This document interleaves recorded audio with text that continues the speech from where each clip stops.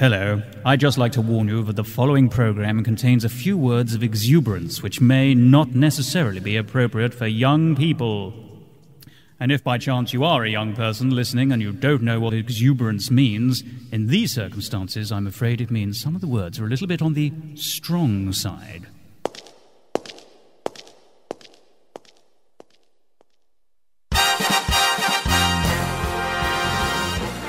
Broadcasting from the stages of London, this is Musical Talk, the UK's first independent musical theatre podcast. Hello, welcome to our 37th episode of Musical Talk. Sitting across from me is Emma Williams. Hello. Hello. And Mr. Martin Ball Hello. from uh, your Dr. Dillamond, aren't you? Indeed, in Wicked. Until- I get a Mister. Do you notice you just get Emma Williams? I know. Well, you're the Emma Williams, that's why. you're not Miss Emma Williams. No, because they keep calling me Ms. I hate that. Muzz. I'm too young to be a Ms. Muzz was a shame, wasn't it? Yes. Because the idea behind Muzz, this has nothing to do with musicals, but just very quickly, was really a good one. Mm. Why should, you know, a man is just Mr. whether he's married or not. Yeah. Why should a woman be defined by whether or not she's married? It's an appalling idea. I'm Absolutely. totally with that. But Muzz as a word is dreadful. Mm. Now, compare with carbon footprint. That is a wonderful phrase. It's a wonderful little bit of poetry, isn't it? Carbon footprint. And it takes an idea which is a little bit lofty, the whole kind of E thing, and oh dear, have I really got to do that, and do more recycling and all that, mm-hmm. and makes it completely attractive. Mm. Talk about my carbon footprint. Suddenly I want to do something about it. The footprint element says makes it deeply personal. It says that I have a specific personal responsibility. I'm leaving for- my mark. Yeah, Yeah. For, for, for, for the mark I leave, ecologically speaking, in global warming, yada yada yada. Okay, So moving you know where you are with that phrase. and where, if only Muzz had got a word like global. See, Ms to me just conjures up images of feminists Yeah. or, or lesbians or being divorced. And I'm And- kind of, I'm none of those. and humorlessness above yes. all. I'm not a Miss or a Mrs. I'm Ms. Yeah, e- there's no joking with Muzz. I had a drama No. teacher who insisted on being called Ms. You, you can't put your hand up and call N in class. It doesn't, there's no vowels. It doesn't work. no, that's right. It's M and Z. It's like megahertz or something. yeah, there's no vowels, there's no plosives, there's And nothing it's you can do rubbish in that. Scrabble for points. yeah, yeah. So today we'll be talking about Wicked, obviously, because we've never done that in the Nil episodes, and we have actually many times. And uh, Martin and I um, actually saw the Drowsy Chaperone on the same day without knowing it. So we'll be discussing that show. Brilliant show, very funny musical, Fabulous. and oh, I um, loved it. good. I loved it. very very good. Yeah. And and you're not really a musical theatre man, are you? No, lightning has struck twice now. I don't know what you're doing on this can't sing. podcast then, but um, Yeah, I know. Well, quite, quite. But I do love musicals. I'm going Yeah. to bring my passion, if no particular talent, to, to the day. You can If sing. That's right. I've no, heard I you- really. Well, I've heard you harmonise. if I sing at all, it's I'm like I'm the old school bass. What I am not is a light pop tenor, which is what I needed to be in Mamma Mia, and that really was a bit Yes, of a but disgrace. because you've done Mamma Mia. Because your that's my other. That's what I meant by lightning having struck twice. Is I've done two musicals. Yeah, Two great musicals. yeah, two. Great Didn't put fun you off the first time then. No, I absolutely loved it. I had a pal who was in Mamma Mia from day one, who I've known since I was 16, and he called me one day and said, "Come and you know they're auditioning for for Harry, one of those three dads. Come and mm. have a go." And I said, "Andy, you know what my singing's like. I sing like a Cat horse being with a fence castrated. pole up its ass. Yeah, I mean, uh, yes, a cat. But yeah, quite. I mean, it's just ter- terrible." And he said, "No, I think you could get away with this." He said, "Yes, you're right, you do, but I think you get away with this." So I thought he's, and I said, "No, I don't." He said, "Look, what's the worst that could happen? You get a funny story about how shit your audition was." I thought, "Yeah, okay, okay, I'm not too proud for that." Lots I'll of give it- bleeping in this episode, obviously. I Yeah. can- And so I, so, so, so I said to my agent, "What do you think?" I could hear the laughter down the phone from. I was filming. It's one of those odd things. I was filming um, something or other, and you know what filming's like? Hurry up and wait, and you're sitting in your little box, you know.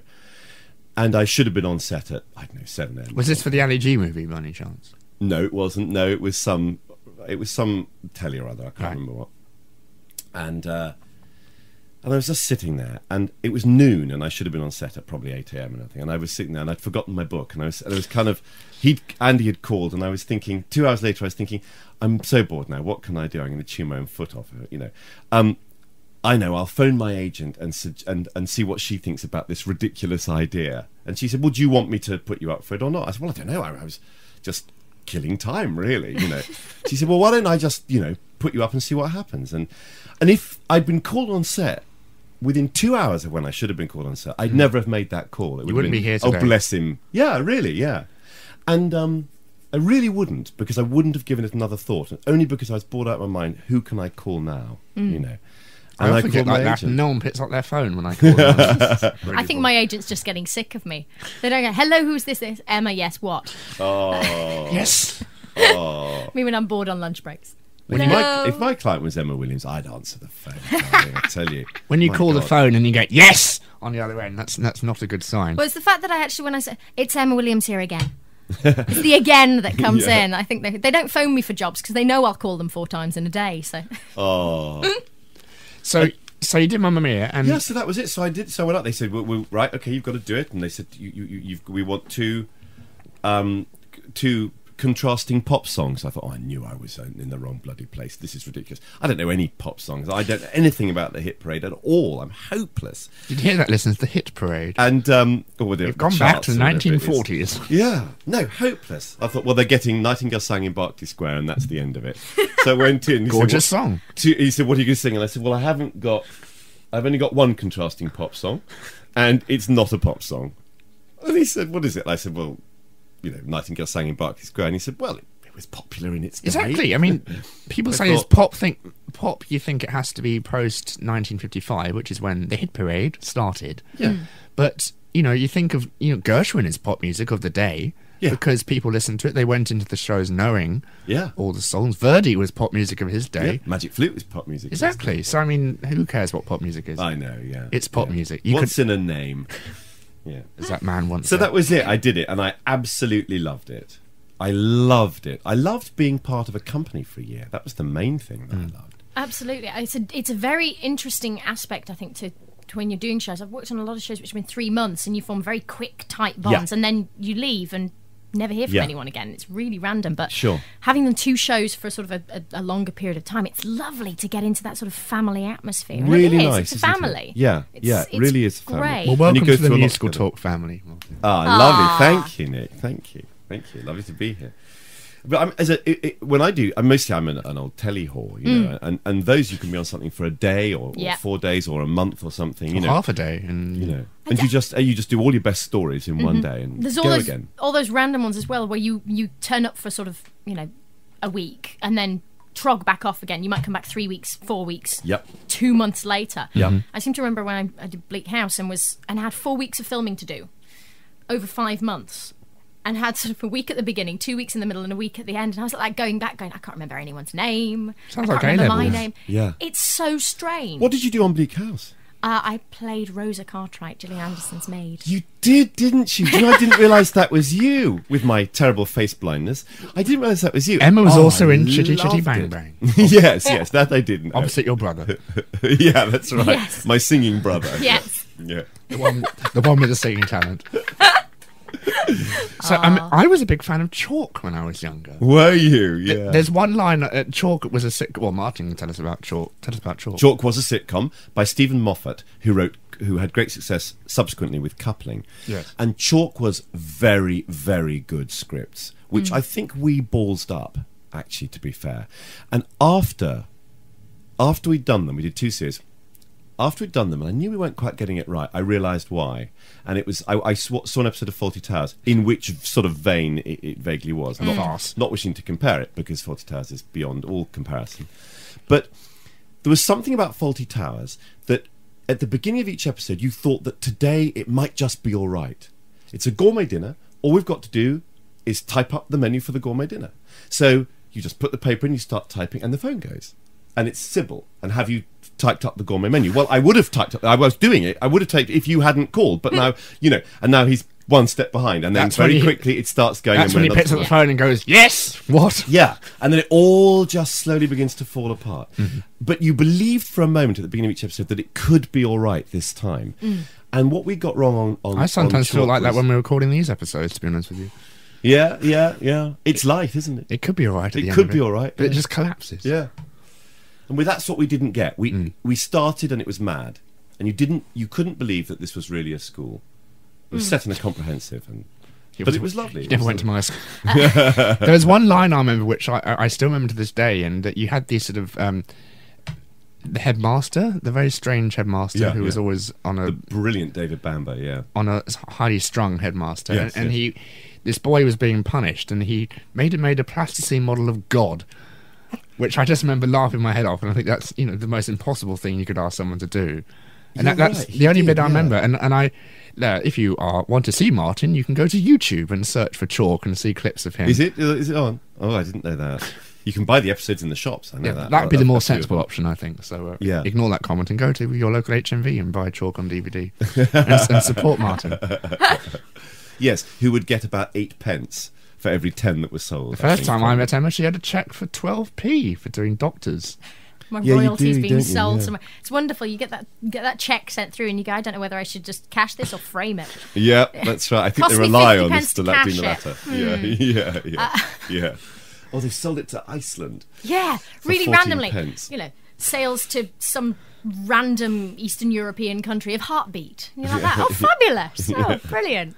Sound when great. did I do heartbeat again? Sound great with translations going on in the background. Yeah, the 60s music's so popular over there. So, uh, flashback to summer, I guess summer of last year, Hmm. 2006, which would be last year. Let's listen to this episode in 2009. Wouldn't it be three years ago? But um, what happened? Um, we, we uh, uh, uh, Chalk start, um, uh, Wicked started. I mean, yes, if, th- if that's what you're Yes. referring to. Yes, we're back on Wicked, aren't we? Yes, good. um, um, it started with much excitement, and the booking opened, and they broke all box office records in, in, in the first hour. Opened on a Sunday morning. Yes, I remember that. Uh, uh, Hundred thousand pounds thought- in two hours, was it? Yeah, that's right. Was something like that within the first hour or something, um, and uh, which, which, Which at which which? point I thought, "Whoa, this is something," because I didn't know anything about the show. This is something uh, to big. be honest. Yeah. Um, and I thought, wow, this is obviously going to be something rather special. And everyone kept saying, oh, God, you're going to be working with Idina Menzel. Oh, my God, Idina Menzel, you're working with Idina. And I thought, will you stop saying that? I didn't know who she was. And I'm going to be tongue tied now when I meet her because the way this is going, you know. I thought, what can the fuss be about? You know? I mean, it's just a musical. And we sat down on that, mon- that, that terrifying Monday morning that mm. you, Emma, know so well from these shows, which sca- still scares the living crap out of me. Absolutely. I mean, you get a big circle of people with scripts, and, and Yeah. nobody really knows each other. You've done the quick hello and a cup of coffee, and maybe a croissant in the Yeah, morning. It's- that's it. And then the coffee you woof. can't taste, the croissant you can't No. taste because you're so terrified. Absolutely. And you're kind of sat in a corner going, oh my God, oh my God, it's my line next, it's my line Yeah. next. And Be that's good. exactly it. It just it comes closer and so closer wrong. to your bit, doesn't it? Yeah. And and of course you know Wicked Wicked is a get there's a there's quite a bit before before uh, uh, uh, sings, uh, Idina starts, and then it's the Wizard and I, and she started singing, and, and I just stopped. You know, and just looked at um, and all that, all that terrible, all those little voices that you've just ex- described so eloquently, and that terror just kind of all just left me. I just, I was just distracted out of them, all those feelings, just by looking at this girl with with one foot folded up, you know, on her chair, in this little sort of fetal ball, but just giving it everything. And I thought, good God, I see now what the fuss is. Mm. I see why the booking did this. I see why everybody has been getting, has been fizzing at the arse about Idina Menzel. I get it. Yeah. all. You're just something. That's one way of putting it. Yes. She was just wonderful, wonderful. and of course, you had you have a couple of scenes with her where you. Is your paper wax, Barney? Or What what is this paper? The, the paper I have to eat is rice paper. Oh, okay. Yeah. Is it nice? It's really nice. It's nice, yeah. It's a nice sensation putting paper in your mouth and chewing it. What is not great is that with it still in your mouth, you then have to say, "I've heard of an ox, a professor from Quox, no longer permitted to teach." Oh, so you don't swallow it? No, well, I do. I try, but there isn't time. I mean, you're into that so quickly that hmm. you're saying the lines prior to that, and then the opening lines with a bit of it still in your mouth, and then hmm. in the tiny gaps you swallow and then go on. But that's that's not easy. Trying to get it down before having that particularly difficult, those particularly difficult little lines Set that of you want to articulate clearly, because they're unfamiliar words. You know, a professor from Quox and all that. It's, those aren't familiar images, so you need to. That needs to be clearly placed. Can you give us your bad? Yeah. You always do this. What is it with you and performing monkeys? Well, there are those or in flying monkeys. True. Very nice. Fantastic. I think. I mean, I think with Wiki, one of the one of the things that we had this amazing amount of hype over here because of on on all the boards and anyone who'd gone to New York and then come back and started writing on the on the gossip boards, of which there are quite a lot in this country now. Yeah. And and getting this amazing hype, this fantastic recording of the show. Mm. Yeah. And then as soon as they announced that Idina was coming, it was like that. Bingo. Yeah. It's it's sold immediately It's for one reason that people want to, to, see her. to have her come over and It's a very clever idea. Yeah, absolutely. I think it's a very strong idea when there is a when there is already a recording that's that's sold so well. Yeah. I mean the the book is the book is great and it's had a relaunch for the book as well, the Gregory Maguire book. Yeah. yeah. Um, I think personally I prefer the musical to the book. Do you think the book's great? I find it weird and dark. and It's a little too dark for me. It's very political.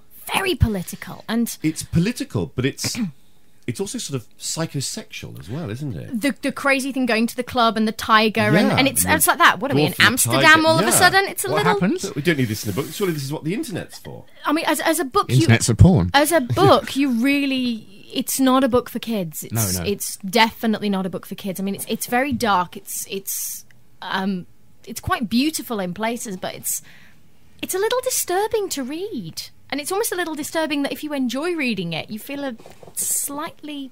I, I think there's a slight perversion in an attitude towards it. Yeah. and it's and as you say, it's it's very overtly sexual. There's the you know the wonderful scene of going to the ballroom in in in in, uh, in the musical could probably be loosely kind of connected to the going to one of the clubs um, in the oh book. God, I hadn't even thought of that. But that is Yeah. that's basically the, this, this, let's go down to the Ozdust Ballroom. Oh, fabulous! Yeah, yeah. Let's go down to this slightly weird club where we'll see a dwarf and a tiger with a capital T, obviously, giving a performance. giving a performance on stage. of, a, of a very rude kind. Um, it's, I remember reading it and feeling a little I think disturbed and going, "I need to see this. I need to see I this think. I mean, show." I, I, yeah, yeah, yeah. it's a bit I mean, wrong. I, I'm inventing Stephen Schwartz's shoes, trying to think of a rhyme for fellatio, but I some seem to come up with Horatio. Well, you'd have to rename the dwarf. Nelson the musical. I can Yes. see that scene with Lady Hamilton, can't you? I've got it now. oh God. Oh. When else? What else would you need a rhyme for Horatio and Felicia? But do you know? Um, I mean, U- Universal are behind the musical because they originally wanted to do a movie of it, Yeah, that's how it came to Mark Platt. Mm. It came as it came as a movie idea. Yeah. of the novel, Uh, yes. which would have been interesting. Yes, it would. And you'd have thought the most obvious medium. But it was very, um, it was hugely imaginative of, of, of Mark to, to see it as a musical. Absolutely. And that was Stephen Schwartz. Oh, was it? Stephen So- Schwartz called him and said, "This has to be a musical. Let me do it." Oh, right. Okay. And they said, "Okay, we'll give you t- t- two hundred Do you know, you're right. That rings a bell. I think that's in the Grimmerie, isn't it? Yeah. Yeah.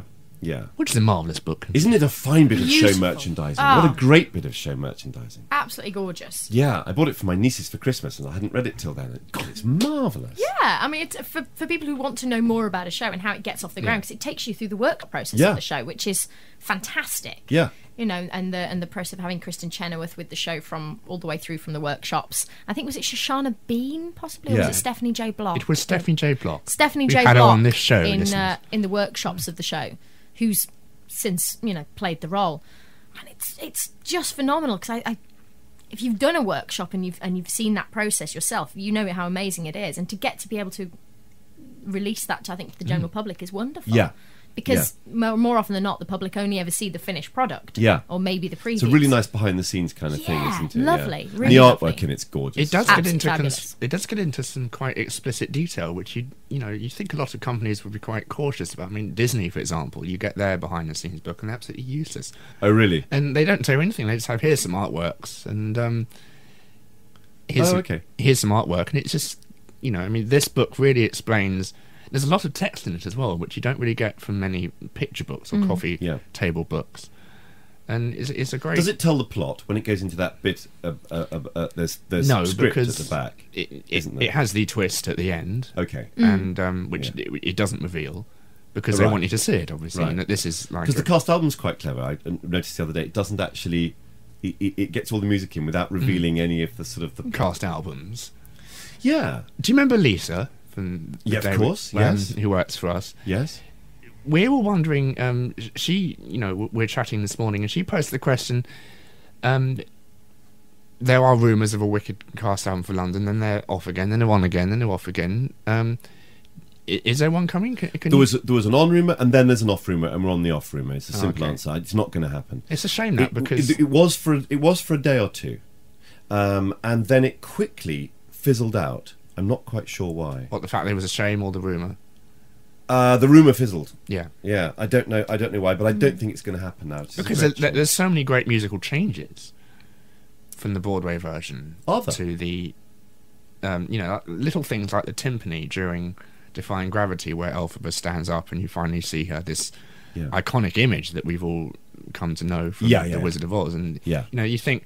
Well, well, this drum roll really, you know, of says she's quite regal now, and um, little things like that. Which Right, I know- right. The I know- interesting thing is most most cast recordings are slightly different to the show version anyway, because certain things work wonderfully well when you can see the visual aspect of it, but mm-hmm. not Yeah. not particularly well, you know, when when you're faced with it on a CD. Sure. So, I mean, I think the interesting thing would would be particularly because of all the accent changes. But then you have that obviously issue of original London cast is you know yourself and Idina and and Helen Dallimore and Adam Garcia. it would be what Forbidden Broadway call now the unoriginal cast. yeah, yeah. And then obviously you've got the changes that have that have you know subsequently happened Yeah. with with Miriam Margolyes. I don't know if I can Margolyes? pronounce Mar- ah, Margulies. Margulies. Yeah, is it Margulies. Yeah. There we go. I've been calling him Margoyles. No, Margulies. Yeah, Margulies. Margulies. Uh, and also with Kerry, who's you know phenomenal and stunning Yeah. as our first British. Well, it would have been with Elphaba. Kerry. It would have Yeah. been a Kerry Absolutely. recording because obviously there would be no point in having an, another Idina. Another one. Idina. Um, you know, th- yeah. But the It was- fan, I mean, not just the fans. I think people really want this CD to happen Yeah. because a it would help with the show and it would get you know more people to come and see it, and it would just be another thing for people to gush over and hear the new changes to the score and hear, you know, because Katie Rowley Jones is fantastic. Um, Yeah. James Gillan is very, very, very good. Yeah.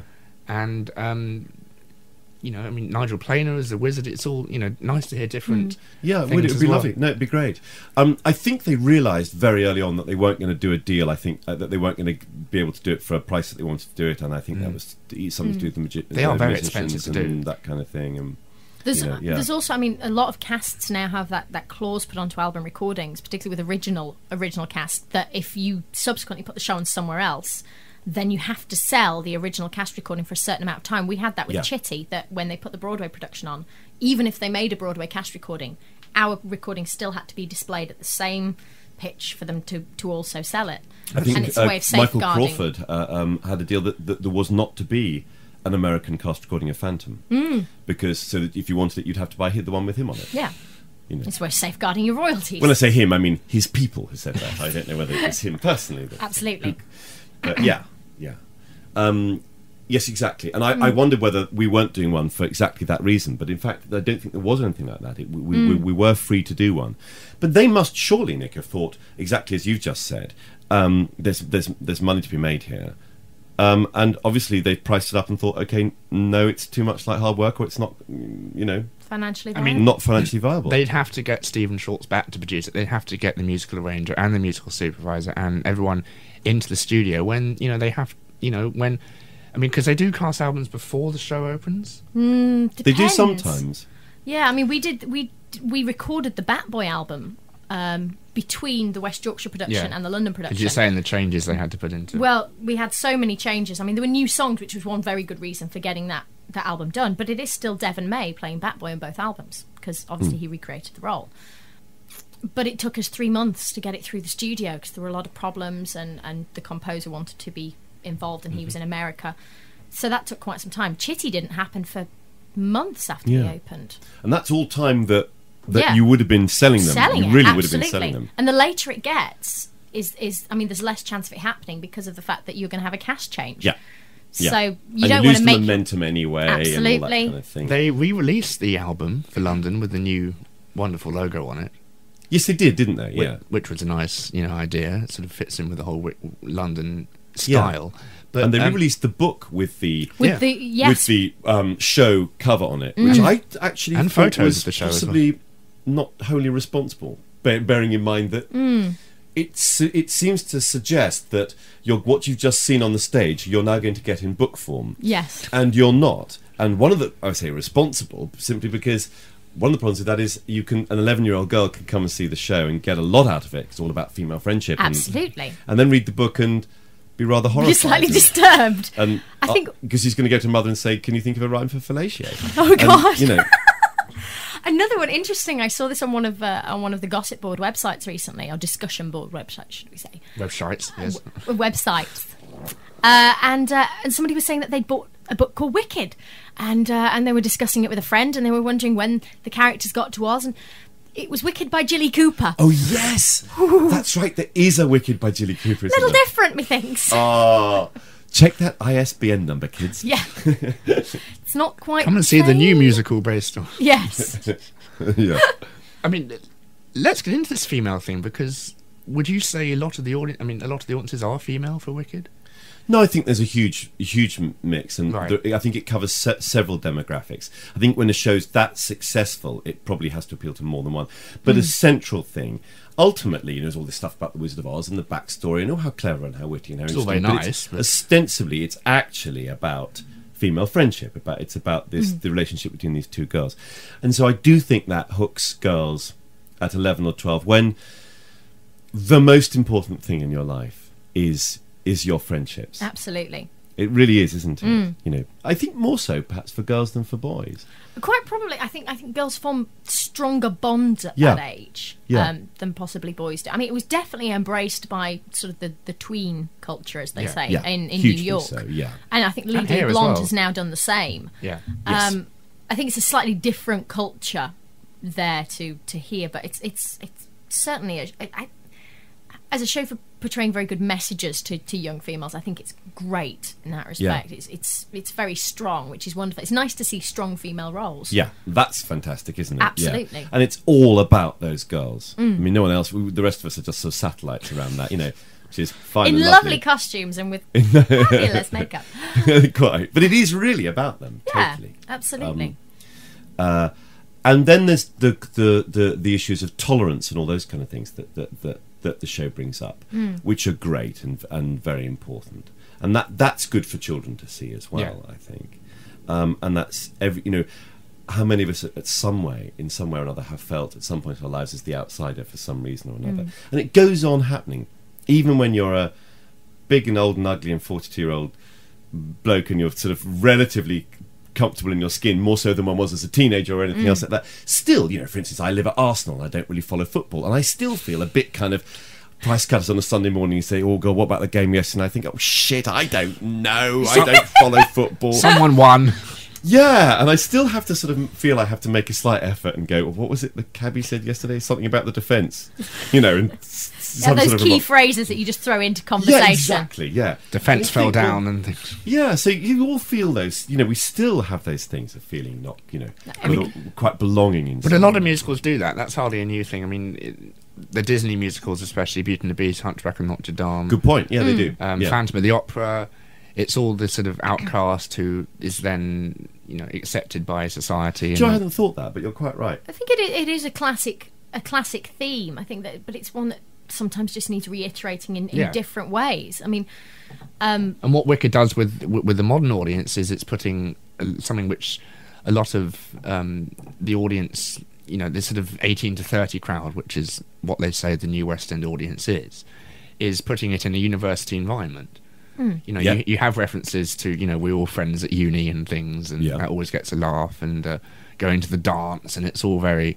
It's a thing which the audience can associate with, which the Disney films don't necessarily do because. Mm-hmm. The Quasimodo doesn't really go to a, yeah, A- I think also they, a bop. because Wicked derived from the Wizard of Oz, which everybody knows and everybody loves, and everybody there has preconceived notions about who the witch of you know the Wicked Witch mm. of the West is. I think because of that, you've automatically got got a perception that you can challenge from day one Yeah. by presenting a different image to the one you're used to. Yeah. And I think in that respect, it's incredibly powerful because it really does make you think. Yeah, that's the show's great or, uh, uh, original thing, Yeah, isn't it? because your audience are already going in with an attitude towards a character, whereas Hmm. Les Mis, if someone hasn't read the book, which very few people have, it's a tome, and and and other shows like that, you don't have that same perception Yeah. to, to challenge. And it- maybe that's and it maybe twists that's why the whole it's so story round, of course. Yeah, absolutely. Which is, I, I saw it for the first time in Chicago with Anna Gasteyer playing Elphaba, who's a TV celebrity and famous for Saturday Night Live, if you know that TV show. Um, she, the show, I was so impressed with the way the story was structured around what we already knew, which what Emma was saying, how the Tin Man emerges, which is a very clever scene, Mm. and how the, and it was quite scary how what, what they did to the Scarecrow. What what Yeah. we come to know as the Scarecrow, you had this almost Yeah. Christ-like image as he was being Yes, sent right. to his crucifixion That's right. Yeah.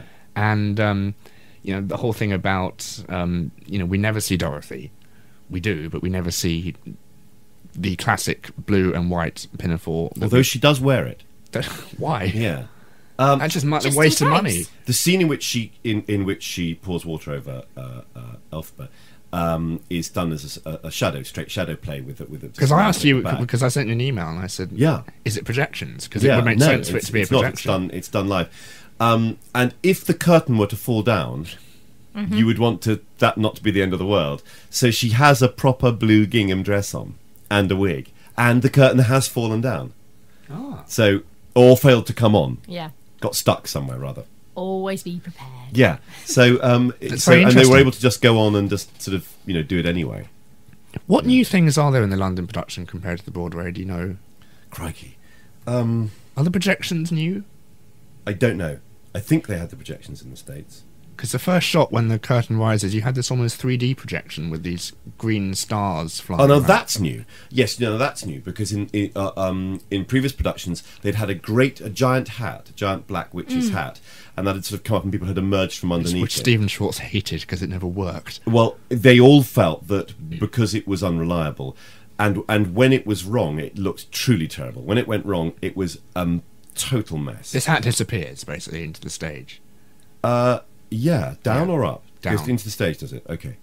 I'd imagine it going up, but yeah, okay, good. It, Um, it, it sucked into the into the stage in a sort of oh right, okay. air. I don't know something. Right. It, it, it didn't work a lot of the times. It was Yeah. just this thing that flapped around the stage. So and that- it apparently looked truly terrible. So they said, okay, let's not let's have something else. So that projection is new. That's very the nice concept of projection. projections isn't new, and now I'm thinking about it because I talked to the projection girls during during Tex, and they had been on them all. right. Yeah, I mean, of course, you have projections of the, the house flying and the um, yeah. There are actually quite a lot of projections that aren't obviously projections. For instance, on the green when we go to the Emerald City. Uh, in one short day, um, and they go to see Wizomania, Mm-hmm. the, the show that glorifies the wizard and everything. And there's a green curtain there, and that has a projection onto There's it. things moving give- around. Yeah, to just to give it extra texture, so it's not just a sort of flat green. So there's, there's quite a lot of that sort of textural projection on top of what would otherwise could, could be just a bit, you know a, a basic color slab of color. Tell us about your costume because it seems one of the more elaborate ones in the show. My costume is glorious. It's osten- ostensibly um, a professor's robes, but if you were a normal professor, they would just be black robes with the tabs and a, and, and a waistcoat, tweed waistcoat. Um, and nothing underneath. and nothing at all underneath, darling. No, just a little perfume. Um, uh, and um, and so that's what they are, except that they're furry because he's a goat. So they're so it's a furry. Um, Not the waist- internet obsession, waistcoat. the, a um, wool waistcoat, goat's wool waistcoat, and, Yes. and, and a furry, furry um, um, robes. Yeah, yeah, which is lovely, And and a, and a rather sweaty, uh, not breathing latex head. Yeah, And you can't hear which I anything. disappear. No, very little. Very that, that, that amazes me, but I mean, because I mean, I really couldn't hear anything when I first put it on. Eventually, they they they um, stuck some little holes in it around the ears. But up until then, I, I would just stand there and everyone would point at me. I really couldn't hear a thing. you think they give you headphones or, or an earpiece that makes you hear. That would be a bit high tech. No, it's okay now. I can hear enough. Yeah. Um, You could probably do the show with your eyes closed, fa- the- fast I, asleep. Probably. I, I, I dismiss the class. I say class dismissed, and they all uh, leave. And um, unknowns to me, because I'm looking the other way, Elphaba says, "You go on ahead, Nessa. I'm, you know, I'm going to stay and have a little word with the gate. Check he's all right." And she looks at the board that's and she and she reads out the board and she says, um, "Animals should be seen and not heard." And she looks at it rather contemplatively and just under her breath says, "Animals should be seen and not heard." And I then have to turn and um, oh, you're still here. Ah, and I can't physically hear that at all. do, you so watch, do you watch her on the screen? no, I have to. I, I, I contrive. I'm. I hold a book out the other way, and I have my head just over, just so I have a subliminal at the very corner of my eye, a subliminal thing, and I watch her head move, and I turn as her head moves, and normally she's spoken at that point. But I can, with the combination of the noise of people in the wings going off um, and her talking quietly, I can't hear that that at all. So that's how. I mean, I really genuinely can't can't hear certain lines in the show. And you have a tail. I have a tail. Can you wag it? which goes on. No, but other people are quite fond of pulling it and um, and stroking it, which is nice. We're talking about the tail here. Yes, Yes. yes. Didn't see that one coming, did you, Emma? Oh, I have a rather sweet tail. It's come off twice. Um, Miriam Margolyes um, came across it once in a scene and just kicked it into the wings, as only Miriam can. she is a rude headmistress, isn't she? She's fantastic. Oh, we love Miriam. And and you have Caroline. She lives to shock. Yeah, she's that high. yeah. She's she's very little. Yeah, she's little. For those of you who are in the audience and didn't see that, I, I pointed my hand about one foot off the floor. Um, and, and now you have Um, uh, now we have uh, Susie Blake. Who's very good. She Yes, sings. terrific, she yeah. sings, which is delightful. Yeah, yeah, that was it. Was a it was a rude shock to hear that. To hear, oh yes, there was a tune to that once. Miriam resolutely refused to sing, which is a great pity because she could have done if she'd had the courage, and it would have been a great opportunity for her to I'm sure it's in her character. to though. try. You know, mm. she could have had a plan A, which was the one she was doing, and then during the day she could have worked on plan B and Yeah. just dropped it in when she was I ready. have to say, first time I saw the show was in previews, and at that moment it was like, huh? But and it was kind of a, ge- a general kind of qua Many from the people around me. yeah, yeah, yeah. Many years I have waited. I love it. It was a very, it was a very strange moment, but it, yeah. but great, it worked. But, We're off to see the wizard. but Miriam was terrifying when she comes out during Defying Gravity, Yeah. with, with her reverb flying around the whole theatre. The wicked. Yeah, all that. Yeah, yeah. And uh, it, it just instilled. She was terrifying, wasn't she? Yeah. It sends sills down my spine. Yeah, and, yeah, um, It, it, brilliant cast, and um, I'm, I'm presumably sad to leave it. Yosh, yeah, she had she had the best time on the job. She had such a good time. She absolutely loved it. Has she actually, think co- uh, has she actually come back to see the show? yes, she has, and she was always one who never tell me who's in. It, we always used to throw her. I, I don't like it much either, but she absolutely hated it. Absolutely hated it being told. And there was a point in that one where she'd come and join Andy Mason and I, and we- would take great delight in waiting until we heard her feet on the stairs and then say, "So much smaller in real life, isn't it?" You know, it's great, really good. No, it's really great. So I'm just amazed he wanted to come and see the show. It's incredible. Yeah, no, I think they're both here. Yeah, and all that. Who, who, who's in? oh, that's me. Hey, I know, terribly mean. You know, It does look like a really fun show to be part of. I have to say, it, it looks like the sort of show where you're going to leave it going, "Yeah, I had a really great night ha- tonight." it's been the most super fun. Yeah, and the Americans were really tough on us in, in, in rehearsals. I mean, in a good way, but they were really down. it. They were really like, you know, this is just when you know we're nowhere near this thing of doing the show at night to these. Our first preview was like a rock concert. It was Yeah. just extraordinary. One of my presenters went to see it, and he said, um, "Of course, you had the bubble, which." Uh, Yeah, the bubble didn't work, and we had to stop. and, And, and people were cheering during the silence Yeah. of the bubble not working. Yeah, And but it was to stand on stage and then and there was this wall of sound which was just incredible. You felt like you were sort of Bruce Springsteen or something. It was just extraordinary. Um, uh, see, I do know people in the hit I know. And and then we do the show at night, and then we turn up for rehearsals the next day, and they'd be like, not "It's good enough. just no, you know, it's just no good. It's nowhere near." And you just think, how, "This is so weird," you know. Absolutely. Being praised to the to the hilt at night, and then acid rain during the day. like but the they cra- wanted it better and better and better. It's and like the critics, really. I mean, especially with a show like Wicked, which can we say it wasn't critically well received in this country? There never is. Well, nor, well, nor was it in the States. it doesn't No. matter. It, it really, it really doesn't matter. It's one of those shows which I think works from audience word of mouth. Yeah. and, Yep. and Yep, and it's critic proof. Yeah. Absolutely. Like And- Les Mis. And now you have the well, I mean, Les Mis originally was what they said it would Yeah. close within weeks, and yeah. look at it now. Terrible. Two hundred Yeah, they hundred got- years they got later, panned. it's still playing. And they got panned from both ends. They got Mm. panned by the broadsheets, and then for the opposite reason, they got panned by the tabloids. You know? Absolutely. And the, but the point about that was just getting back to your point, Emma. Just uh, um, was just that it, that is, you know, friendship is is very often formed through shared experience, and that was Mm. a very intense shared experience. The Americans Mm. and the, and those opening houses, and the, and then the feeling of expectation, and it's that I think that that, that bonded us very early on, and I did think make, so. and and it, and that's why it's been so happy. I think. I, th- I think that's that's the wonderful thing. that I mean, thing we shared. yeah, the same thing with with Batboy. We got we were we had amazing reviews in West Yorkshire. and We were panned when we got to London for the exact Yeah. same show. Yeah. Um, I mean, literally, there was one song that was different, which was so strange.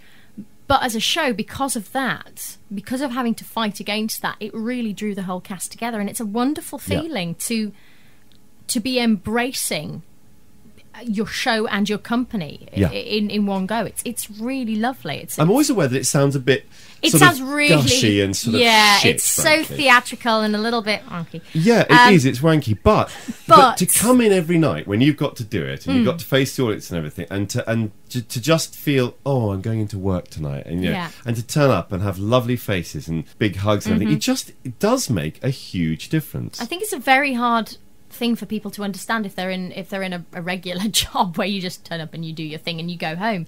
That I mean, particularly if you're going through a hard time Hmm. and you have to go in and do a show where you may have to be incredibly happy for the night. And do you know what? Sometimes you just don't feel Yeah. like it, and it's only Yeah. if you've got that that really good company spirit that you can actually see it through. That's a good point. It's about fi- it's about it's about the way in which it helps you to find performance energy as well. Mm. You're right. Yeah. it does take a lot out of you. It's, surpri- it's Yeah. surprising how much it does. You, Yeah. you, when people say eight shows a week and hours wise, it's you know it's not horrific, but No. it can take so much out of you if you're if you're doing a show which is so you know physically exhausting, which most my shows my are. act too. I mean, I have come on that blanket and I, I have to bleat what I call my baria. Um, I when I give my baria, I find. I mean, that's hugely emotionally demanding. don't You know, bearing in mind I have often eaten a lot of cake either side of it. Absolutely, we love the shows where you get just enough time off stage to gorge on sweets. I will never. I've so landed with my arse in the marmalade with Wicked because it's such a great little part. You do enough that they establish who you are. Mm-hmm. Then you go away, eat cake, flirt with wardrobe, while they go on talking about you and keeping your name alive. Absolutely. And halfway through Act Two, there's uh, there's there's Elphaba, you know, going no good deed, and she goes, you know, um, Nessa, Doctor Dillamond. I think that's it, girl. I hear it on the tongue. I think keep keep keep Me? the keep the thought alive, so they all remember the goat. Yep, It's fabulous. I don't have to do anything. But you're at this sort of critical plot place in the thing. that's that's the only problem is you gain a lot of weight throughout it. If you, Yeah, you do yeah. if you're me. yeah. And when you come on, no one knows who is under this cloth. And when you are finally revealed, you always hear, "Oh."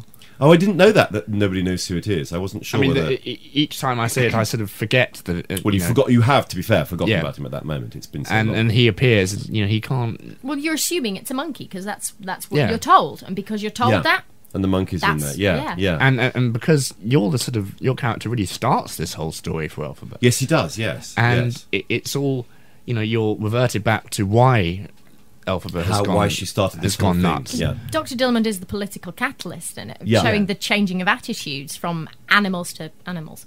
yeah. Can you can you really emphasize how to emphasize a capital That letter? was Emma doing saying animals with a capital A, which sounds like this, animals, and animals with a small a. animals.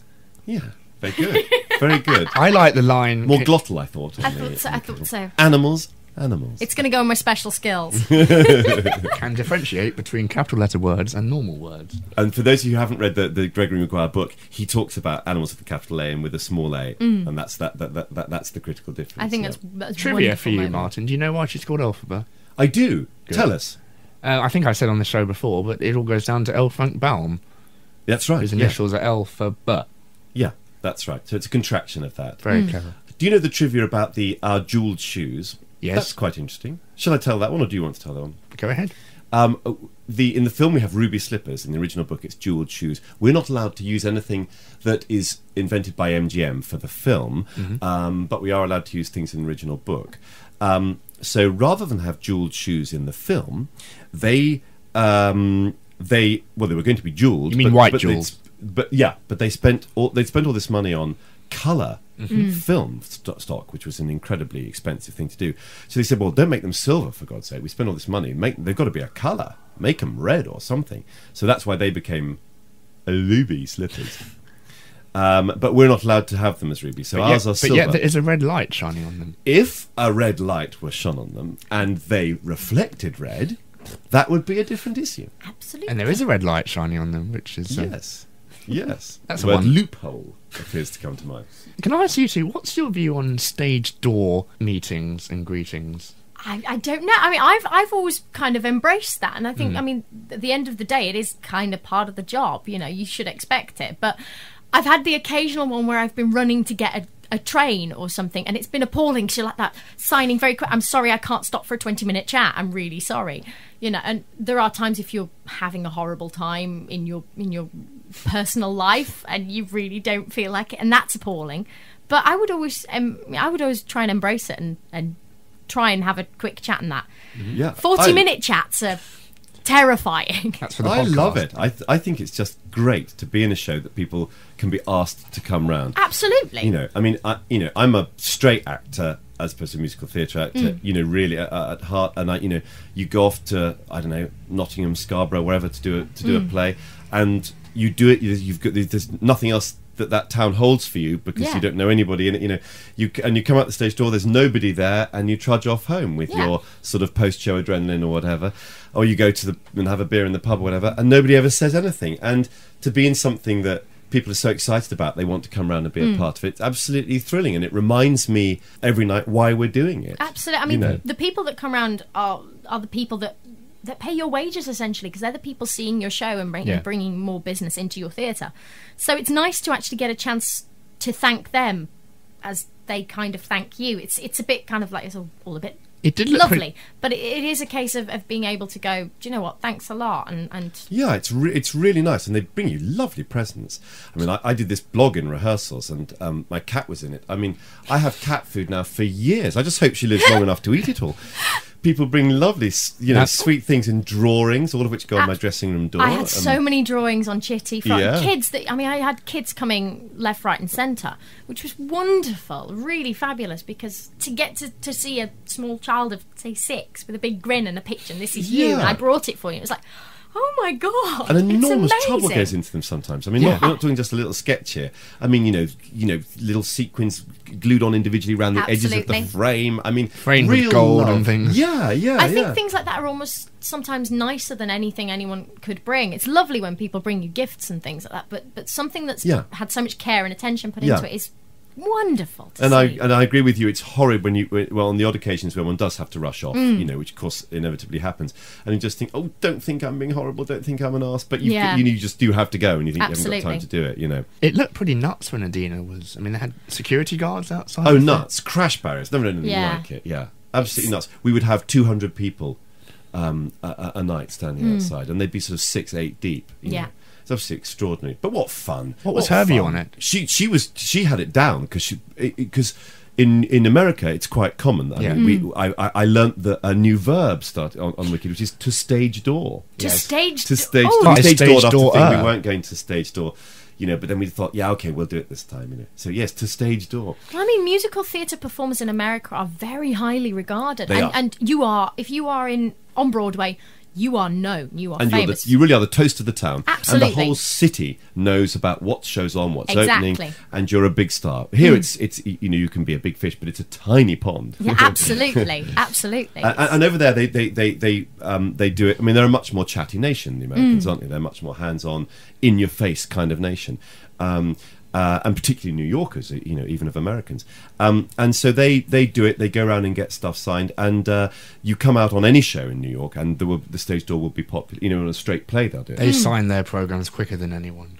Well, it, yeah. So they they've got that down, and Idina very sensibly used to come out with a pen because Mm. if you wait for someone to find a pen each time, you know, and it's silly anyway because you know they're going to ask you. yeah. But you have that feeling that if you carry a pen with you, it's Um, I like can't you it. feel a bit silly because it's like that. I I, can't carry a expect you pen. to want no, my it's autograph. So it's presumptuous. so weird. Yeah, it's so presumptuous. It seems to me. for someone of, of Stephen Schwartz caliber, I mean, he's he's a guy you would want the autograph of, but because of the position that he holds Hmm. in in the industry as a composer, so many people in the general public won't know what he looks like. Exactly, I mean, yeah. let's be honest. Half the general public that go to the stage door have trouble recognizing some people off stage. Once you get rid of the wigs and Yeah. you get rid of the makeup, Yeah, it's like I mean, that. Idina isn't really green. yeah, yeah. Kerry can walk out untroubled because she's blonde. So, I mean, Absolutely. and you've really got it in your head because Helen's blonde and she's dark and green. You don't expect her to be green, but you do expect it to be dark. You know? Yeah. And Idina was dark. Let's so- talk about Kerry because You know. she started uh, her sort of fandom came from We'll Rock You, Yeah. um, and now she's, She's just phenomenal, and she's the sweetest, gentlest, most down to earth girl. Wouldn't say boo to a goose. She's just lovely, lovely, and um, you know when there's noise in the wings and there's you know all that kind of thing and she's out there holding the whole thing together she, she's you a real she never leader. gets cross or anything you know other people are complaining about you know about not quite reasonably complaining about noise in the wings you know it's putting them off Kerry never seems to say a word you know and it just just gets on with it she's just heaven I haven't a bad word to say about her just heaven I love her performance. I think I think it's wonderful. I have to say, I saw and to her credit it grows and grows and grows Yeah. as well Yeah. absolutely uh, Yeah. amazing and and you, when you when you when you're following such a powerhouse as, as Idina, who Yeah. has had such a setup on it as well and Yeah. has been hyped, It's a hard that's, task that's for her. Yeah, difficult really to step hard. into. And my God, she was amazing. yeah She was amazing. She made me cry. In fact, I, I think I think Kerry's performance got me more than Idina's did. Really? Yeah. Yeah, it affected Yeah. me more, and I don't know why. It makes sense because it's now the accents aren't such a problem yeah that was strange wasn't because it? you have this It American was who really has a two sisters that have an English and an American accent. That was mm. all. I found all that a bit weird. I think it also set up the kind of the father mm. element a little bit Yeah. too early as well, because you kind of went, oh, I wonder. Oh, that's interesting. If you don't know Of the course, story. because he's Kansas. Yeah, yeah, Yeah. You kind of go, I just, I wonder Yeah. if. it's had how many million billion people have come to see it I don't know. We did two thousand three hundred a show, uh, if we're full, which we're not always. But um, I don't know. I what do don't you know think the future figures. holds for Wicked as regards to sustainability Oh, uh, our we've not taken the London or England has not taken to Wicked in in the same way that America has. That's to say, there are tickets for sale, whereas in the states there are just no tickets for sale. I believe Yeah. that they have a thirty million advance on Broadway. Wow. And and, uh, and it's not just Broadway now. There's a national, there's a US tour. On There's LA, Los Angeles. LA, there's yeah. Chicago. There's New York, and they're all Toronto, they're all completely selling Canada. out. Germany. In fact, we get some of their overspill. We get Americans here who say, just been dying to see the show, couldn't possibly get a ticket in the States, so we've come here. It's interesting because I think originally, originally they were planning to take it to Australia before London. Oh, really? That's interesting. I was in I was in New York a couple of years back, and I sang for Bernie Telsey, who casts Wicked in America, kind of very randomly.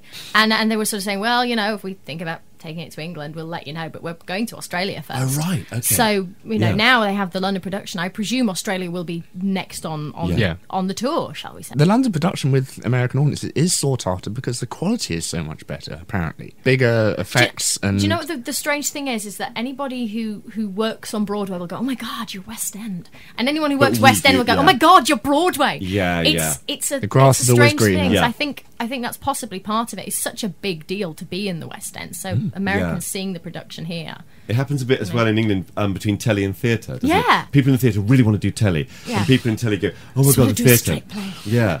Whenever I do little tellies during the day and you have to get back for the evening, for the evening show, you know, oh, and you think, oh, it's going to be a hassle because they're not going to want to say, they're not going to say they want to cleave in time to get back.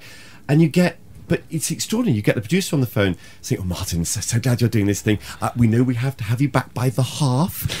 uh, we'll have your car ready for you." And you're getting a little bit fizzy. You're a big producer. You're a big telly producer, but you're getting a little bit fizzy because theatre, it's West End theatre, and it's something different. And then you know you, and then you come into the theatre and they say, "Oh, you've been doing your telly today." Like it's, a kind of a It's so strange. One of the reasons that, that theatre has such a kind of a an acclaim to it, it is just the fact of having to be in that place and doing that show for two and a half hours.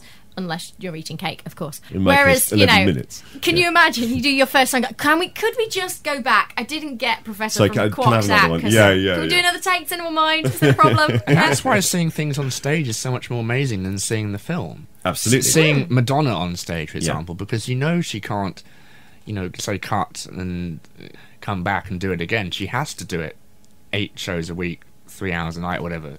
Yeah, she yeah. did. Yeah. Although, didn't she get into trouble for miming? Which is halfway to. Yeah. I don't know. Or, allegedly. Mm. Martin and I on Friday saw the Drowsy Chaperone, courtesy Oh. of Emma. Actually, well, I got my tickets courtesy of Emma. Did you, have you seen it, Emma? I haven't. No, I, I was I was working my day job. Right. Ugh. I hate temp work so much. I was sat there You're not answering. temping, are you? Well, it's only temporary. Honey, I are temp you? and I do bar work. I can't stand Come it. and Emma see me in my Williams. pub. You don't work in a pub. J- Seriously, I was in a pub last night. I had my hair scraped back. I'm in my, my, my black uniform because we have to wear blacks, as they call it. Mm, I don't know. I don't get that term. But anyway, so I'm, I'm working the, I'm pulling the pints, and this person appears. And I'm like, hello. And I'm thinking, I know you. I've auditioned for you. And he's looking at me in that way of going, I know you. Why do I know? And off, so I'm going, what can I get you, love? You know, turn into classic bar mode, you know. And he goes, I'll have a half of whatever. And, uh, and he goes, Do I just know you from coming here? And I'm like, I think you've auditioned me. And I realised it's an MD I was speaking Oh, to on the phone only the week before. Oh no, who was it? His name is Callum, and I'm, it was Oh. just hilarious. Callum McLeod. I'm like that. This is really embarrassing. I haven't seen him in two years. So I'm like Oh that. god. Complete, so so terrible. At least you I'm met like in a social environment. Yes, so it's like that. Yes, this is what I do these days. So You- it's it's it's Well, the good for kind you of the knocking filling down in and doing thing. all those things. You got him a drink at least. I did. Well, he paid for it, obviously. Um, As so- men should. You know, just one of those those random things. Anyway, Oh. where were we? What were we talking about? Well, let's talk about But Oh, drowsy, Drowsy, yes, Drowsy, there yeah. we go. Thank you very much for the tickets to Drowsy Chaperone. It was, Yeah, it was a I'm- wonderful. So you working Thank at you. the theatre? No, no, just thank you, thank you to Alex who organised those. Thank you, me. Alex. Thank you, Alex. Did you um, get yours free, Martin? I did. Good. Hooray! They thought, okay, it's a Friday matinee. N No one's going to know about a Friday matinee. No one's looking for a Friday matinee. We, we you know we haven't sold any seats. Let's paper the house. Let's get people from the business in who who can then spread the word around Yeah. the business about it being Which we're really good, doing. which is a very sensible idea. They're only putting that performance in because they'd missed the Wednesday matinee because they'd open on the Wednesday night. So thinking, well, we'll get our pound of flesh. We'll get you know our eight classic shows thing out at there. Christmas. You know? Yeah, exactly. you're doing six shows in a row because you want to have Christmas Day off for some strange reason. We did nine on on, on um, Christmas week. Oh, Last- God. Idina's last nine shows, and she did them all. Bless her, two a day. For, oh, I think we God. have to talk about her last show in another episode. Oh God, yeah. That's something we'll so have yeah, to so cover. they said that, and they said let's pay for that. And then on Wednesday night they had their opening night. Thursday and Friday the reviews were so good uh, that they went sod that. We'll, we're not going to do the papering. We, we don't need to, and they cancelled it all. Um, so lots of people who've been promised free tickets on the Friday uh, matinee then suddenly had them withdrawn. Ah. And we had ours withdrawn and then put back in. Jai Frasca, who's our who's in our show in his first cover box, is very good friends with Summer, and she she Summer Strallen, who plays. yeah, Who is fabulous. Summer Strallen, who is fabulous with her legs around her ears. Her song was the best song on the show, I think. Um, I don't Show want off. I don't want to yeah. show off anymore. Yeah, yeah. I saw that on the Tonys. Somebody sent me a tape of the Tonys over, and that was, and I thought, what a great Yes, night. I, I've seen the same clip. I think on YouTube, Yeah. watching uh, uh, just I don't gobsmacked. It even has a magic trick in it, which was very nice. yeah, after a fashion. Yeah, yeah, it does. Yeah. when she changes dresses in about one second, which But don't have- rather, rather like as we were saying about it, you know, being being a real blast that Dina came over to open Wicked, it is it is a real treat to have Bob Martin. Yeah. doing it because this is he is more associated with this even than Dina is with Wicked because of He course, wrote it. He, He wrote, wrote it. It's his gig, and you ju- you know anyone listening, go and see it. It's special, Mm. and try and see it with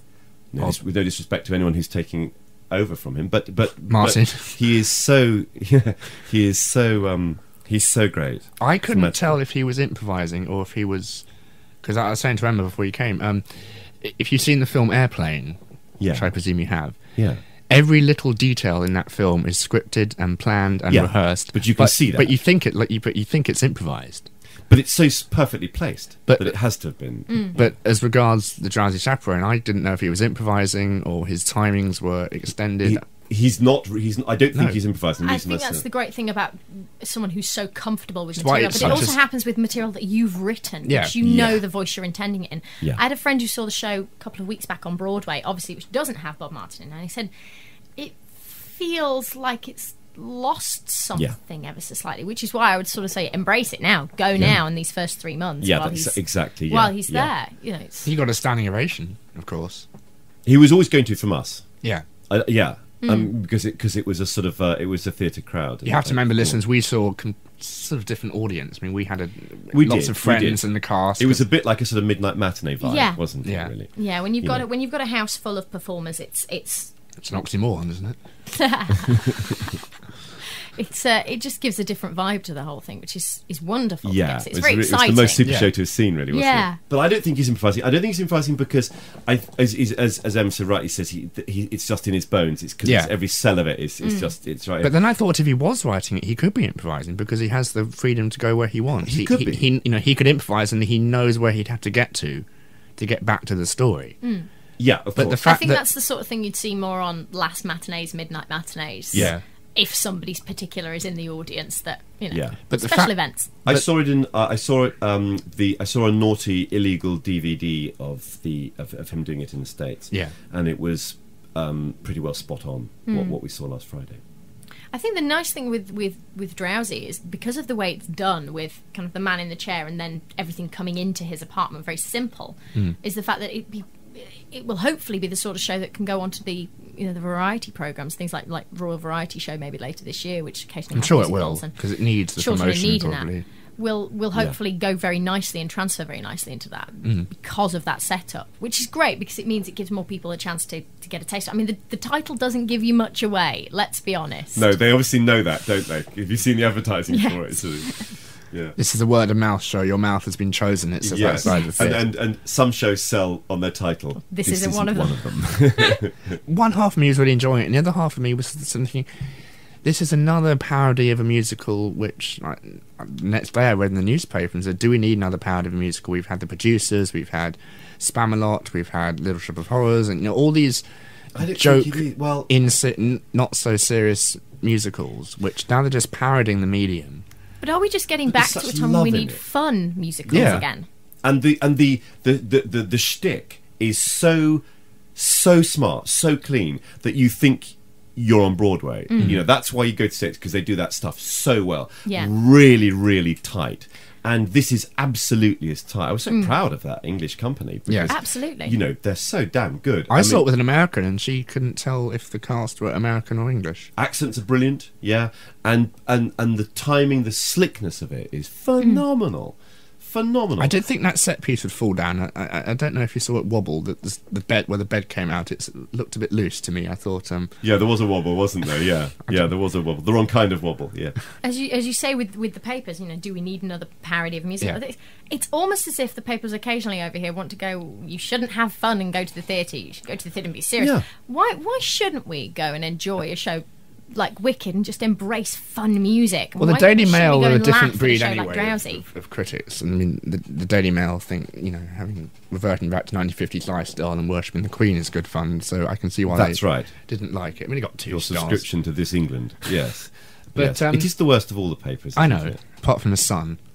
the Sun has a sort of integrity about it I we will sell um our newspaper by getting pictures of people Naked. Fergie sucking somebody's toes, or or, or, or, or a girl with her tits out. or a lady- Fellatio. They There's don't try and disguise what No, they do. Exactly. And their reviews are actually surprisingly accurate.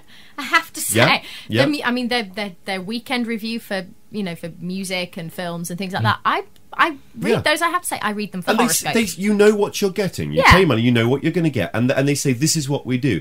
The tab, the the the, the uh, broadsheets say we don't do that. We, we we rise above that. We'd like to give something else. We want to give balanced news in a different way. Hmm. Da, da, da, da, da. The Daily Mail is that Doesn't kind either. of halfway between is two. that I, I, I, I want to be thought of as one of those, but Hmm. I'm using the value system of the others actually. I mean, they do occasionally certain bits and pieces from the Daily Mail. You know, there's certain reporters who work for them who are who are great. I mean, Baz Bamigboye is very on top of a lot Yeah. of his theatre stuff. He has some Yeah. very strong opinions at times, but he is very on top Yeah. of what's going on. But he's Yeah. only there on a Friday, so Yeah, you know. quite. Quentin Letts as well. Go in, flick through it and- critics Yes. for the time for the Daily Mail. There was an interesting thing uh, uh, about um, uh, reading the critics to, uh, of Wicked, which was that uh, they a lot of them, a lot of the broadsheets said, and you know, and blah blah, blah and the songs are completely unmemorable. There's only one number that is that is memorable, Popular. which is such and such, and they all took a different song. And there was no agreement That's about which one song was memorable, but unanimous agreement that only one song was memorable. Um, And these are one of them catchy chose songs. Wonderful, which is, I mean, it's the most obvious number. in the Maybe they but- chose that because it's the only one Stephen did in deliberately a pastiche. Yeah, It was a style that you know the critic. Yeah. Oh, th- this is a ragtime song, so I'm able to you know say it's a good song because that's It made me wonder whether you don't have a responsibility, perhaps as a critic. I don't know whether I believe this, but I'm sort of asked put it to the group. Mm. Maybe you have a responsibility to get to know a piece before you review it. Yeah. Maybe you shouldn't take it on a first hit. I can't take any music on a first hit. I mean, I'm a No. am a big opera fan, but if you first if you play me a Hit. on the first time you you, you you hear it, you know, on the, on the Emma first hit. researches her roles before you audition. I mean, you, you have Absolutely, you have Yeah. to do that. As you research have a to. subject before you write a Yeah. book about it. I mean, The first time I hear something here, uh, you know, a Verdi opera, I don't know. I just all I hear is. Wah, wah, wah, wah. It does make me wonder how But when I get to people know it, you think, oh, do when they the come and shape, I see a show and only see it once and don't come back Yeah. for a second time because, I mean, as you say, when you see it the first time, it's like whoa, swathe of information. Yeah. And then you come back the second time, you kind of enjoy it more. So once I review it, then first off, you're only getting that that kind of rough idea of everything, shall we say, and what Yeah. hits you autom- automatically, and Yeah. you kind of let things go by the wayside and others. And if there's a sort of an interest, you might think, I'd quite like to hear that cast album again. You might hmm. buy it or you might borrow it or whatever. And then, and as you hear it now, you think, oh, I remember this bit. This is when the whole thing went green. This is when she went up on the thing, Yeah. and or whatever it is, you know. And then, and because that reinforms it, and you, the emotional connection is made because you know where you were emotionally in the arc of the evening. Mm. Then you, then you start to listen to the music again, and now it really starts It to mean It brings back a memory, and it Yeah. kind of has especially form to it. especially if you're talking about a complex integrated musical theatre score and by this i mean it has leitmotifs and has re- Yes. recurring Yes. melodies you can't get that on a, on a first hearing because you No. don't know what you're listening to No. And once you've gone through Wicked, for instance, and, you, and you've got that whole motif of the whole leitmotif of unlimited, look at me, I'm limited, and all that, which is the first seven notes of Somewhere Over the Rainbow, Mm. his little in joke. And then you go and see the show for a second time, and the first thing you hear is. the second thing you hear Oh, yes, you've got that dugga dugga dug thing. and you got dun dun dun dun dun, dun which is normal as wicked Yeah, yeah. then it, if we and had- then you hear that, and then now, now when you hear it for the second time, ooh, ooh, and the hairs go And up on your back, tingles the go. tingles Yeah, start absolutely. because you know why that moment's there and what that, what that's about. which is what a great musical theatre composer does. I mean, Yeah. Stephen Schwartz is uh, Stephen Schwartz and Stephen Sondheim. Yes. If you listen to Sweeney Todd, it's completely littered. I think thirty-five leitmotifs in Sweeney Todd. yeah, yeah, and, And that's that beats of, Wagner. Of course, yeah, it all goes back to um, Wagner, and the Ring Cycle, and all these. Um, it- was it Wagner who first came up with the idea of Well, characters? He, he, and he met, yeah, he, Yeah. he, he's the guy that did. I don't know if he came up with it, but he, he, he didn't wake up one day and think. he certainly, uh, he certainly made it big. Um, there's a, there's a, um, the song, um, "The Wizard and I" i- is um, he he wrote for Idina, and he knew that his audience in San Francisco and New York, if it went to New York, would know Idina, know that what she was famous for is this enormous belt, this hugely powerful belt. Can so I- he says, c- Can I continue the story? I mean, Yeah. Um, I think it's the one you think of. Uh, Stephen Schwartz saw Chorus Line, which is now just opened on Broadway again and won many Tonys. "You're right, yeah, yeah, yeah." And he, you know, you had this big kick line chorus, sort of Busby Berkeley uh, style song at the end. One. One, Yeah. singular sensation. And he was waiting for the kick line. Yeah, was waiting. It never happened. It build up to the anticipation, build up, and when it finally happened, he was hooray! It's the kick line, and you know it, it finally got him what I've paid to come and see. So he wrote the Wizard Well, and he I. actually thought he actually thought, oh, don't do the kick line to begin with. He thought, Yeah. don't do the. kick- It'd be too. It's so obvious you can do the kick line. Oh, oh, you're not going to do it. Oh, you're not going to do it. Oh no. Well, maybe we did need the kick line. Maybe we did need the. And then you're thinking, oh, please do the kick line. Oh, there it is. You know. And- yeah. That's your payoff. and, and, Yeah. and, and it's a, but a you, huge tease towards Oh, it. if yeah. you listen to the, Wiz- the Wizard and I, she actually goes the Wizard and. Yeah. She doesn't even say I. Yeah. It goes into the leitmotif of Unlimited. And Yeah. um, finally, when it does, I think as regards Bill Brohn's orchestrations, Ed- Idina Menzel's, uh, Idina Menzel's singing, the rallentando of the score, that is the best moment in the CD when she has that shift and it just Yeah. goes um, into some random key which has no relation to the previous. So, so it starts very slowly. Yeah, and it starts just builds up into this yeah. huge climactic moment. And I remember when I saw it for the first time, I um, the person I was with said it's nice to see a female actually be on the stage, having the whole stage and a spotlight on her, Yeah, which is what you know that moment is all about. You know, the the, the towers have glided off stage, and it's just an empty stage with her singing, and it really is a fantastic moment. yeah, and it's yeah. a great "I Want" song. Yeah, but that because it starts so slowly that Yeah. that, you know, and, and then when you know that, and when you're talking about getting to know music, hmm. I think you have to know what the whole shape of that number is before you can appreciate the number. Yeah. So when you know that it's going to be this huge belt that you've got Idina there to do this, and then all you're getting is. When I meet the wizard, and it's right on the edge of the breath, and it's just a tiny, tiny sound. It's like, oh, it's the beginning of a journey, and, it, and, and and when you know what it's going to be, you feel that it's like the beginning of the roller coaster, going up the hill mm. before it gets to the top, and then goes takes you on the big ride. you know, Buddy, the, the Buddy Holly musical, for example, you go for the last ten minutes because the rock, the, the concert at the end Yeah, is absolutely mm. fantastic. Or Great Balls of Fire, the Jerry Lee Lewis story, you go for the concert at the end. So should a piece stand up on one hearing and be heard and be judged on that, or should a critic have an idea of what they're going to have heard it, have an idea before before they then see it in action? But if they do that, then they're taking a position that most people in an audience won't take because most audience members will come once. It's only you know, people like your fans and, and the people mm. who are very involved in the show that afford it. come a few more times. Yeah, 'cause Yeah. it's so expensive. Yeah. You know, I, I I just think that the difficulty is that that it, overall theatre is so expensive that, that it's off-putting to go and spend the same amount of money on a, on the show again when you know Yeah. you might go and see something new. But and also a lot of people aren't prepared to take the, the cheaper seats. Um, and, and I think it may degrade. I think it may downgrade their experience. I, I assume a lot of people think that. I mean, for me, I love sitting right in the right in the top of the gods because that's where I sat as a kid seeing shows, and Yeah. and it has a, a certain kind of enjoy enjoyment to it for me. Um, it would I be li- nice if, if a show would operate a theatre where you, uh, or a theatre would operate a, a, a version where you could buy tickets, and you know, if you buy six for various different dates, you get a discount. Hooray! Yeah. Or more student discounts. Or make Wednesday student afternoons cheaper than Saturday evenings, which some shows do, don't they? They Well, have. I mean, Avenue Q have just reduced its ticket prices during Yeah. the week. They're all, uh, their, they're all the the Monday to matinees. Thursday are like best seats for 35, aren't Yeah, they? absolutely. Which, Which, is, great. And that's right for. Avenue Q. No, I love Avenue Q. I Yeah. think it's Brilliant. wonderful.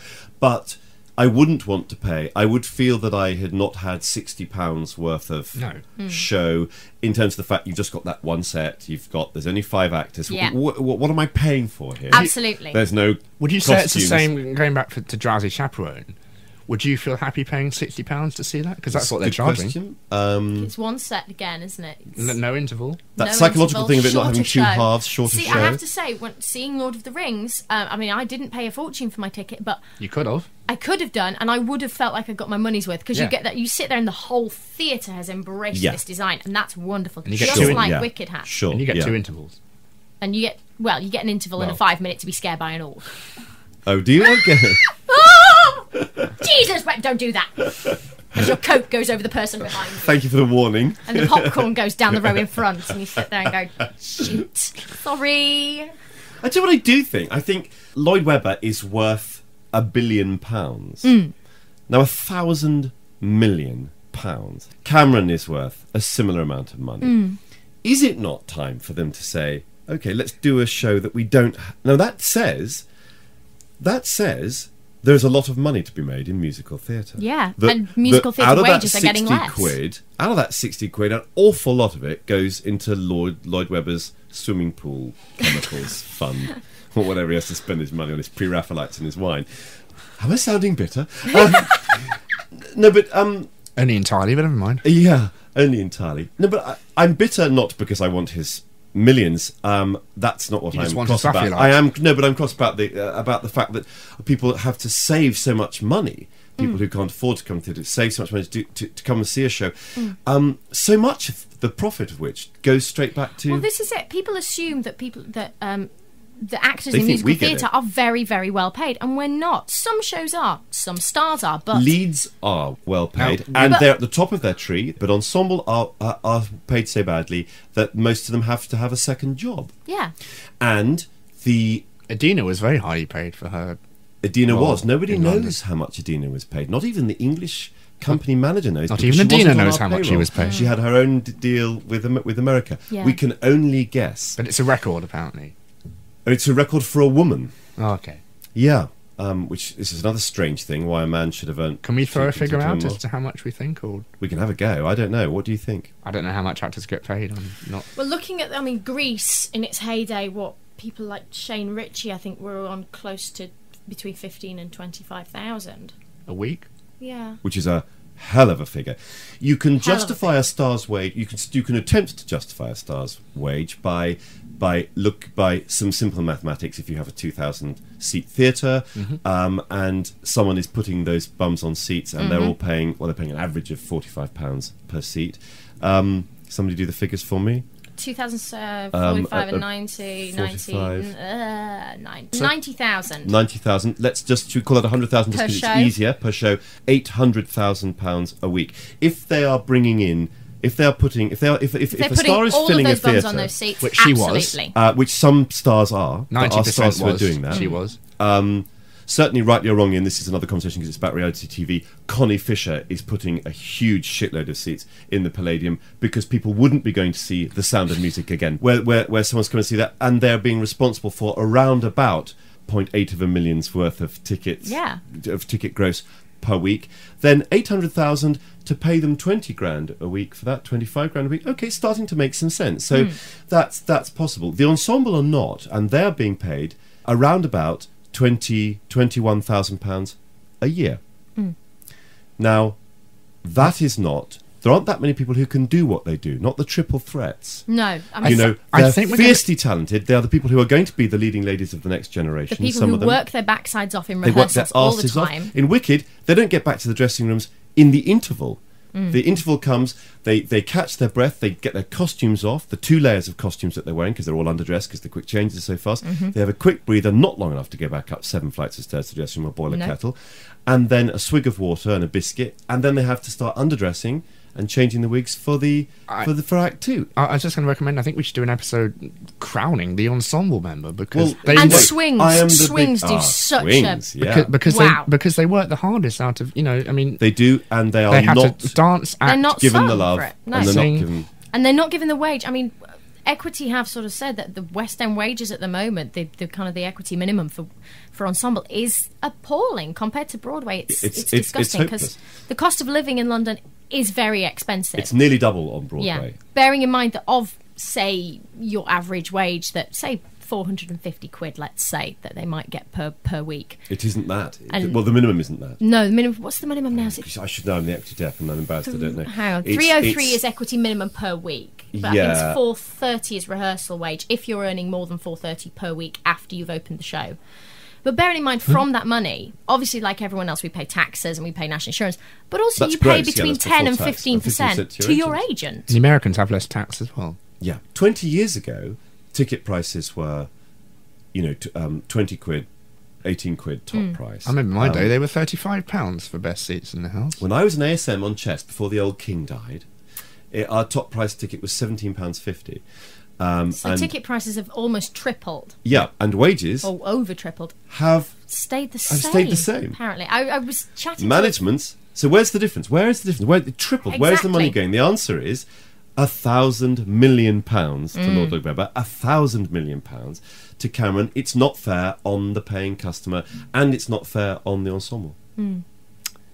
Thank you very much, Martin. So there we are. That's me off my soapbox. Sorry, put my empty depth hat on. Let's do the episode now. Sorry. That's all right. I think I think people should know though that it's not going to the people that work the hardest. Yeah, so think if you want to, interesting instead of bringing pictures, send money. Uh, it would be. I'm joking. I'm so joking. Or teddy bears. Send me things I can sell. No, I'm so joking. You can sell teddy bears. I'm sure they're collectors. Aww. we got given by our management uh, a wicked backpack for, for when we opened and a wicked wash bag at Christmas. Miriam Margolyes was so appalled by this that she put hers on eBay and made seventy and fifty pounds on them respectively. I Really? Think, Yeah. I think Wow. you, I think you should all go to www.musicaltalk.co.uk and buy the musical talk merchandise. Yeah, what oh, do we have, got? We have t-shirts. We have teddy bears. Oh. We have thongs. We have underwear. We have Thongs. Thong. Yes. Musical talk thong. I love it. Has it got one of those buttons on it when you press it and it plays a famous hit? Sadly not. Oh, Um, I think that's a must for Christmas. we, we, we, we, have, we have a tote bag, which is very nice with the musical logo on it. We have. Um, and we're like going to model the thong, aren't we? Darling? Yes, We've done I, it we'll, we'll have a big photo shoot. It'll be His and lovely. hers. there, is, there isn't a his thong, I'm afraid, but the, Is there not? there's some male Oh. boxer shorts. Well, how very sexist and discriminatory of you. What made you go for thongs over, Yeah. say, a mug? You can get a mug as well. Or a well. badge. You can get a badge as well. You can get calendars. You can get posters. You can have a wall clock with the musical talk logo on it. I think I think seeing as you now have over twelve presenters, I think you have to have we have to have a musical talk calendar yes. with us. We'll order one then. there we go. Do you know with a different presenter every Ah, month? It good could be thinking. fabulous. Mr. 2008, October. here we come. And then th- then you can have the special Emma Williams thong musical talk calendar with 12 pictures. Emma in her thong Yes. on her birth month, which is Ms. May, Ms. May. in her, in her, Ms. May. in her birthday suit. behave. I do enough of that on stage, thank you. Yes. What have you been getting naked in? Model girl this year. Bat Boy was fairly close. Was it? Uh, sex chips involved some. Promises, promises involved a little bit. Uh, in fact, I think I'm getting a reputation that now if it doesn't involve nudity, I'm not doing it. Quite right. It's terrifying and then quite liberating, isn't Yeah, it? you like that? Yeah. Wahey! Yeah, it's kind of, once you've got over it, the shock's their, it's their problem after that. I have to say though, I didn't think I'd get my clothes off for quite so little money as model girl. oh, Uh, we now have a new US musical talk talk line number. It is 206 202 3848. That's 206 202 3848. So if you have any questions or comments, do give us a call. Also, on the Musical Talk website at www.musicaltalk.co.uk, there is a new article written by me in the features section all about the West End Live Festival we've just had this weekend in London's West End. You can see pictures and a video of clips of Little Shop of Horrors and Stomp, and you can also see my ugly mug in the video as well. So head on over there to www.musicaltalk.co.uk. We're now going to head over into a small 10 minute interview, a sort of preview interview with uh, the cabaret star Adele Anderson, who is starring now in the Landor's production of The Best Little Whorehouse in Texas. You'll be hearing a full interview with her in a couple of weeks, but in the meanwhile, here is a small section with Thos talking to Adele. Adele Anderson is famous in Britain, certainly, and I believe now abroad, mostly, I have to say, for Fascinating Aida, the brilliant uh, cabaret uh, group who have stormed British stages for 20 odd years. But also, uh, she's an accomplished director, a writer, a lyricist, and uh, actress. And she's currently appearing in London at the moment at the Landor Theatre in Clapham in the best little whorehouse in Texas. Hello, Adele. Hello, thank you very much for having me today. Oh, thank, well, no, thank you very much for, agreeing to speak to us. Now, um, we'll get straight on to this particular musical. It's uh, written in 1978. Um, what drew you to it in the first place, or playing Jewel? Uh, well, it's an opportunity I don't think I would ever have been offered anywhere else. Um, Jewel has traditionally uh, been played by a, a, black actress because there's a great big R and B number in it, and she's playing the maid to Miss Mona, the the madam, um, and certainly that's how it was played on Broadway and in in the film. Uh, but it's got it's a great song, and I've got what I like to think is you know sort of like a big jazz voice, and so I had to find another way to approach this character. Uh, because the director wanted me to be in a French maid outfit rather than a traditional maid, you know, long, long black dress. And I took a leaf out of Beryl Reid's um, book. She always said, if you get the shoes right, you know, the character comes from there. And I was walking through Brixton Market. We were rehearsing in Brixton, and I f- came across these fabulous shoes that are um, bejeweled. And so, um, and then I found a cardigan that had jewels all over it. And so I decided that's why she's called Jewel because she likes to wear lots of jewels, and uh, the character kind of came from there. She actually, I don't have a, a, lot of time to establish who she is because she's only got about ten lines in the whole of the show, but she's got a cracking solo number and a lovely duet with Miss Mona as well. What are those songs? The first one is called 20, 24 Hours of Lovin'. and she basically, uh, I mean, her job is to make sure all the girls have clean underwear and clean sheets and stuff. Uh, it is an important job, yes. But then the football team are coming that night, and the girls discover that she's not going to be there to help them. And that is because she's got 24 hours off, and she's going into town with her man to have a good time and she talks in this song about you know 24 hours of loving and 24 hours of this and 24 hours of that and so and it's great it's a really good funky r&b number and then i swan off i'm not seen for ages then till act two uh, and then i have a very quite a touching duet um, called no lies with miss mona where where uh, we're being driven out of the whorehouse and we're trying not to feel sorry for ourselves so I have to say, um, the cast is quite large for this particular. It's 26 people, I believe. 26 people plus five in the band, yes. yes. I believe the auditorium only takes 65. Something like that, Is yes. room for dancing? Uh, actually, you were surprised. There's there's lots of splits going on from the boys and the girls. Um, Which you can hear across the borough. it's quite, it's uh, and a lot of you know sitting on people's laps at the front. The marvelous thing about the Landor, they they they're not uh, restricted by their size. They really go for it. Last year we did Follies, which had a similarly large cast. It's only got two dressing rooms. It's marginally larger backstage than the King's Head uh, in Islington, but um, and the poor boys, I mean, they're all shoved in a room that has no windows at all. Oh, right. But Has we're- a door, though. It has a door, but we we girls are in a room with, uh, with a nice big window, and What it overlook? it overlooks drug deals going on on the corner uh, outside the estate Streetlight, there. Yes, absolutely. Uh, and it, we, we get an opportunity to hang out the window like real whores, you know, and, and uh, berate the passers-by. So the boys come in and hang out with us as well. So it's fine. It's, it's very, very good, very good company and very relaxed. You're enjoying it. I'm having a wonderful time. I mean, I'm getting to wear denim hot pants at, at my age. So, so 22 no 22. Bless you. Um, now, I'm going to ask this. Obviously, most people will know the piece from the film from the 1980s with Dolly Parton in. Yes. Um, and which two extra songs were written, I think, by Dolly Parton. One of which was "I Will Always Love You," which has gone on to be a super super hit. Yes. Has it been interpolated into this version, or is it true to the original? It's true to the original. Uh, Carol Hall, who wrote all the music, and the lyrics, I believe. yes, will will not allow those songs to be. I don't think she was very happy with the film because the film uh, just concentrated on Miss Mona and the sheriff. Uh, I mean, there's a couple of very important characters in the stage show called Angel and Shy. They're the two new whores that join at the beginning of the show, and they're they're not in the film at all. Uh, Jewel, both her songs are not in the film at all. They give her a few more lines to compensate, but she doesn't get to sing at all, which is a tragic waste. And uh, so it's all about Dolly and Bert in the bedroom, really. The other song that she does, they do is "Sneaking Around with You." That's the na, na, na. Yeah, that's in the film. So no, we don't have we don't have any of that. And of course, it has the film has a happy ending, hmm.